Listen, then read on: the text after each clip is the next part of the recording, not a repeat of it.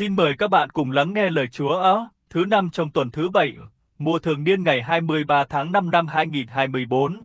Khi ấy, Chúa Giêsu phán cùng các môn đệ rằng ai cho các con uống một ly nước, vì lẽ các con thuộc về đấng Kitô ở, thật thầy bảo các con, kẻ đó sẽ không mất phần thưởng đâu, nhưng nếu kẻ nào làm cớ vấp phạm bệ, cho một trong những kẻ bé mọn có lòng tin thầy ể, thà buộc thất cối say vào cổ người ấy mà xô xuống biển thì hơn.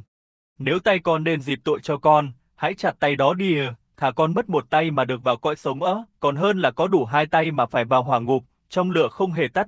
Và nếu chân con làm dịp tội cho con, hãy chặt chân đó đi ầu, thà con mất một chân mà được vào cõi sống ấy, còn hơn là có đủ hai chân mà phải ném xuống hỏa ngục ấy. Và nếu mắt con làm dịp tội cho con, hãy móc mắt đó đi ầu, thà con còn một mắt mà vào nước thiên chúa ớ, còn hơn là có đủ hai mắt mà phải ném xuống hỏa ngục. Nơi mà dòi bọ giúp rỉa nó không hề chết và lửa không hề tắc hề, vì mọi người sẽ bị ướp bằng lửa ấy. Muối là vật tốt, nhưng nếu muối ra lạt à, các con lấy gì mà ướp nó cho mặn lại được ô, các con hãy o muối ở trong mình và sống hòa thuận với nhau. Tạ ơn Chúa. Xin mời các bạn đăng ký kênh và chia sẻ cho nhiều người cùng xem mừng để lời Chúa loan tỏa khắp hoàn cầu. Cảm ơn các bạn nhiều.